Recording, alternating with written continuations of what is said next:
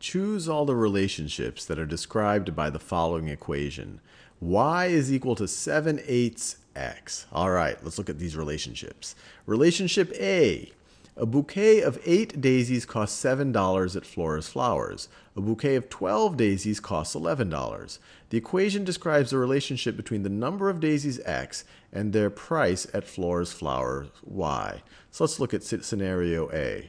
So our x is the number of daisies, and our y, our y is their price. Our y is the price. So when we get eight daisies, when we get eight daisies, they say it costs us $7. When we get 12 daisies, they tell us that it costs $11. So let's see whether this relationship right over here is the same as this relationship right over here. So if I were to take, so let me write this right over here. So here it says y needs to be equal to 7 eighths x. So let's figure out what 7 eighths x is equal to. So 7 eighths x, so if I take 7 eighths times 8, well that's going to be 7. Let me write this down. 7 over 8 times 8 is equal to 7. So this checks. 7 eighths x is the same as the price that they gave us. So, so far, these two seem consistent, at least based on this first data point. Now let's look at 7 eighths of 12. 7 eighths times 12. Let's see, if we divide 12 and 8 each by 4, this is going to be the same thing as 7 times 3 over 2, which is the same thing as 21 over 2, which is equal to 10.5.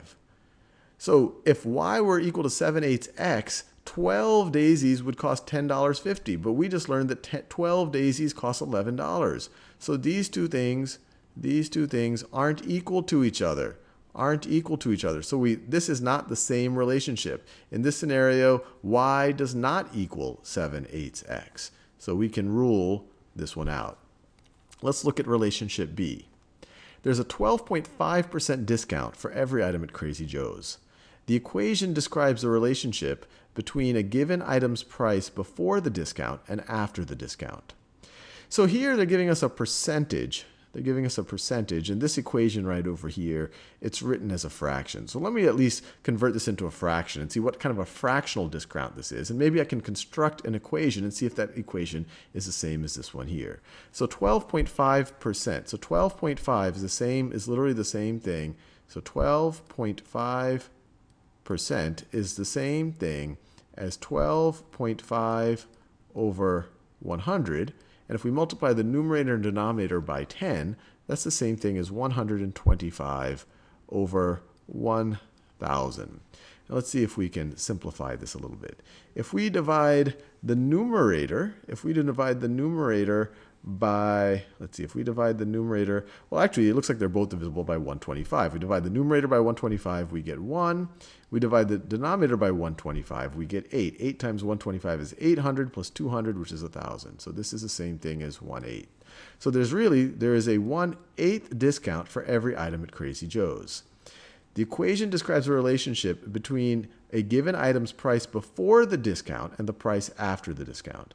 So let's just think about that. The price after the discount, based on the information they gave here, is going to be equal to the price before the discount minus the discount. So minus 1 eighth of the original price.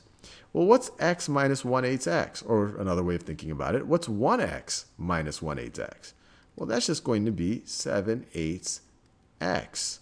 So this relationship is the exact same as this one over here.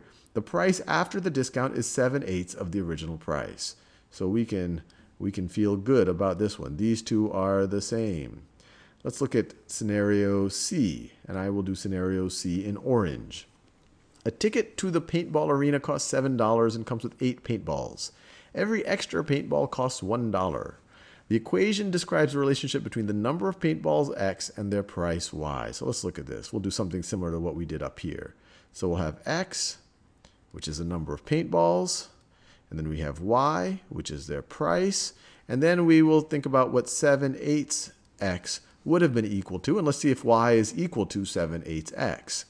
So when we get 8 paintballs, so x is the number of paintballs. So when we get 8 paintballs, the price is 7. And if we take 7 eighths x, so 7 eighths times 8 is indeed 7. So in this scenario, for this data point, it is true that y is equal to 7 eighths x. Now let's get a couple of other data points, and we might have to construct these. So every extra paintball costs a dollar.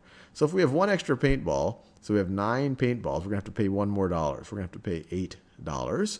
And so what's 7 eighths x here? So 7 eighths times 9. Well, we don't even have to compute it. This is going to be something, it's going to be like 63 over 8. 64 over 8 would be 8. So this is a little bit less than, a little bit less than 8. But the, the important point is that 8 is not equal to 63 over 8. y does not equal 7 eighths x in this scenario right over here.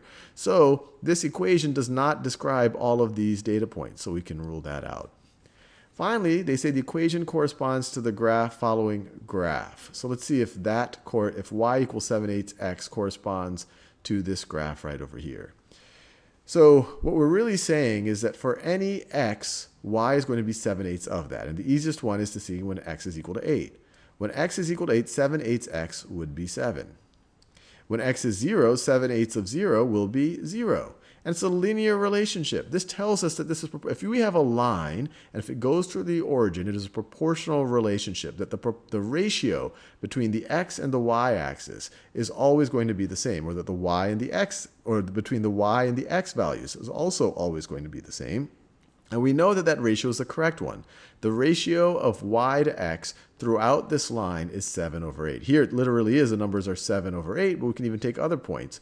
The, the ratio of 3.5 to 4 is still the same thing as 7 over 8. So this relationship, relationship D, the relationship described by the graph, does coincide with the relationship described by this equation. So I would go with B and D.